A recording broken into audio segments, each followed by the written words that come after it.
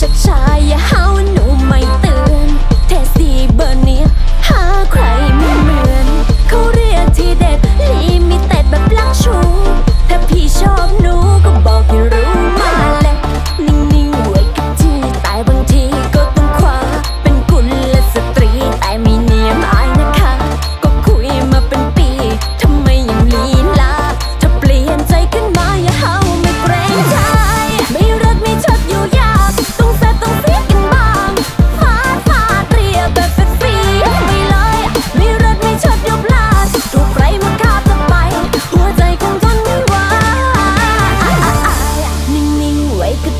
แต่บางทีก็ต้องคว้าเป็นคุณและสตรีแต่ไม่เนียมอายนะคะ